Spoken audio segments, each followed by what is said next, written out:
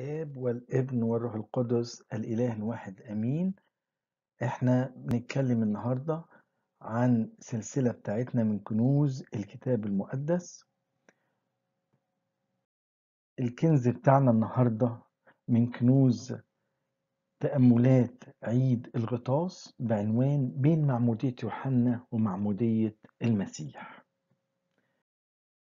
معمودية يوحنا تختلف عن معمودية المسيح في أشياء كثيرة جدا. بس الأساس بتاعها هو مين بيعمد؟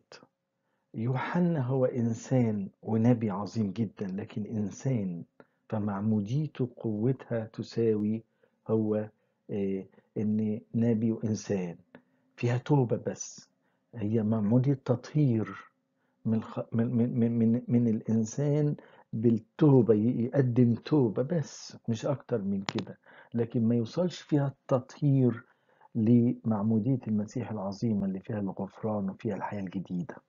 لكن معمودية المسيح تستمد قوتها إن هو الإله العظيم القوي اللي ما فيش بعد كده قوة زيه. فيقول لنا كده يوحنا المعمدان الكلام ده في الأناجيل هنلاقي أكتر من مرة اتكررت يقول وإذ كان الشعب ينتظر والجميع يفكرون في قلوبهم عن يوحنا لعله المسيح يقول أجاب يوحنا الجميع قائلا أنا أعمدكم بماء ولكن يأتي من هو أقوى مني. لاحظ بقى الكلمة دي كلمة من هو أقوى مني. يبقى المعمودية بتاعت المسيح هي معمودية الله القوي العظيم جدا اللي ما فيش قصاده قوة. ويكمل يقول الذي لست أهلا. أن أحل سيور حذائه. هو سيعمدكم بالروح القدس والنار. طب معمودية يوحنا بماء للتوبة. طب معمودية المسيح ده روح قدس. دي دي الروح يعمل فينا بقوة. إحنا عارفين يعني إيه الروح القدس؟ الروح القدس ده هو أحد أقانيم الثلاثة. هيعمل فيا بقوة. هو ده روح الحياة اللي بيدي حياة وده روح الطهارة والقداسة وكل حاجة حلوة. يبقى الروح قدس ونار نار دي يبين قد إيه التطهير تطهيرنا من الخطايا. بالنار إحنا عارفين النار تطهر كل شيء مش زي آه، آه، معمودية يوحنا أبدا. وتشير أيضا للروح القدس اللي هو روح ناري يحرك الإنسان ويخليه في غيرة ناحية الله فالروح قدس ونار ويكلمنا عن المسيح ويكمل يقول الذي رفشه في يده. رفشه ده اللي هي المدراه اللي بيدري بيها الفلاح زمان دلوقتي في ميكنة لكن زمان كان مدرة زي الشوكة كده يرفع بيها التبن مع القمح في الهواء فالتبن يقع في ناحية والقمح في ناحية يعني يفصل بين الخاطي والوحش. ده المسيح له رفشه في, في, في يده. يعني هو الديان اللي هينقي سينقي بيضره ويجمع القمح لما يخزنه ده هو في اليوم الأخير لما الأبرار يروحوا لمكان الحياة الأبدية الجميلة والأشرار يروحوا يروحوا للإيه؟ للهلاك الأبدي. عشان كده كان يقول أما التبن فيحرق بالنار لا تطفأ. الحقيقة المسيح هو القوي اللي كنا منتظرينه أو هو القوة ذات نفسها. اتقال عن المسيح كده قوة الله وحكمة الله. طب دي ليه علاقتها؟ أصل كان في إبليس اللي كان يتقوى على الناس وفيه قوة لأنه ملاك طبعا وشرير جدا وعنده إمكانيات كثيرة وكان مستعبد الناس.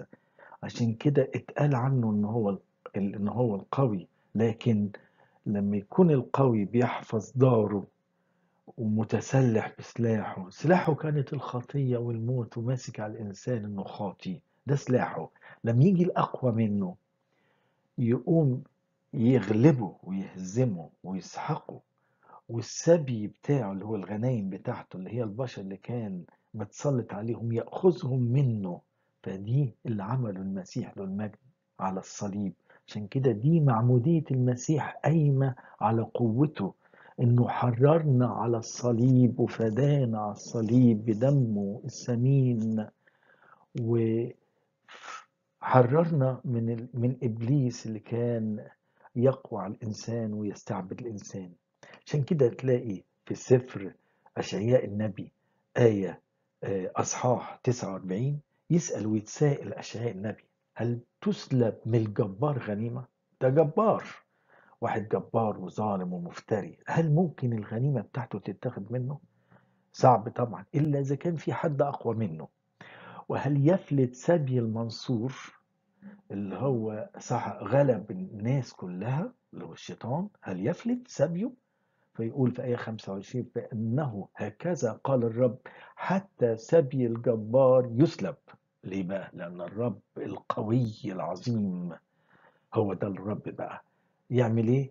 حتى سبي الجبار يسلب وغنيمة العاتي العاتي تفلت الغنيمة هتفلت اللي هو إحنا لما المسيح حررنا على عود الصليب سحق الشيطان عشان كده قوة معمودية المسيح هي من قوة المسيح نفسه ومن غلبته على الشيطان يبقى حتى سبي الجبار يسلب وغنيمة العاتي تفلت ويكمل ويقول أنا أخاصم وأخلص أولادك ولاد الكنيسة اللي ربنا هيخلصهم. يبقى إذا ربنا هيقف في معركة معركة الصليب العظيمة علشان يخلص ولاده ويديهم الخلاص ويبقى لنا الخلاص وهي دي بعد كده تبقى المعمودية مؤسسة عليها. يقول أطعم ظالميك لحم أنفسهم ويسكرون بدمهم كما من سلاف.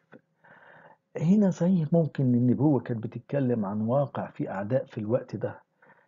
ربنا بيقول لهم إن هو هيخلصهم منهم لكن تنطبق بالأكثر على الشيطان وجنود الشريرين الأشرار اللي المسيح خلصنا منهم وأذلهم وظفر بيهم على الصليب وأشهرهم جهارا وسحق الشيطان وكل جنوده تحت أرجل المؤمنين.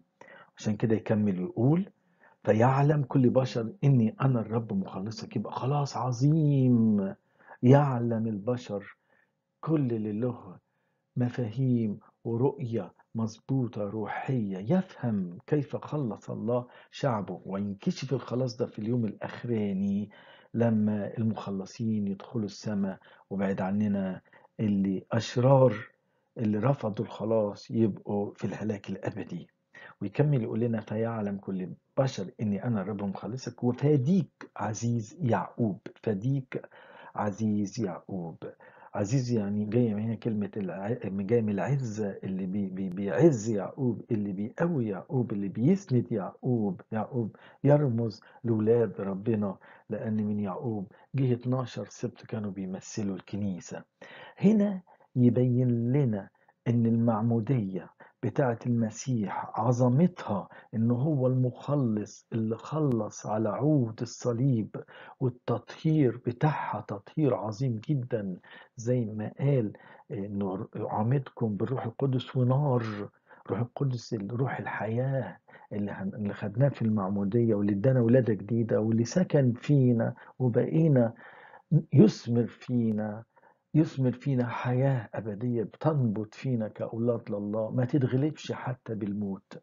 أما معمودية يوحنا فهي آه، عبارة عن كان بيوعظ الناس بالروح القدس وينخس قلوبهم عشان يعرفوا وضعهم وخطيتهم فيقدموا توبة ويكونوا مستعدين للمعمودية بقى العظيمة جدا جدا معمودية المسيح اللي هيتولدوا فيها من الماء والروح. يبقى معمودية يوحنا هي للتوبة لكن معمودية المسيح للمجد هي حياة جديدة ومفاعيل عظيمة جدا جدا جدا. ربنا يدينا كلنا إن إحنا نعتز بمعموديتنا ونعيش هذه البركات اللي خدناها اللي بتعمل فينا وما زالت تعمل فينا واللي اداها لنا المسيح مجاني لإلهنا كل مجد وكرامة من الآن لأباد الآباد كلها. آمين.